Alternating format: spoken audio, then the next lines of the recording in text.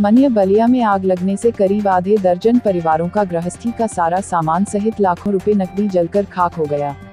आग लगने का कारण शॉर्ट सर्किट बताया जा रहा है। मामला मनिया थाना क्षेत्र के ग्राम पंचायत विशुनपुरा में खड़ीचा धर्मपुरा की है।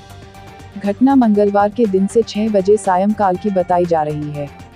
ग्रामीणों का कहना है कि आग की लपटें वीरेंद्र यादव के झोपड़ी से उठी जो उपेंद्र यादव, वकील यादव हरि प्रसाद यादव बच्चा लाल यादव, राजेंद्र यादव व संदेश यादव के मढ़े को अपने आगोश में ले लिया।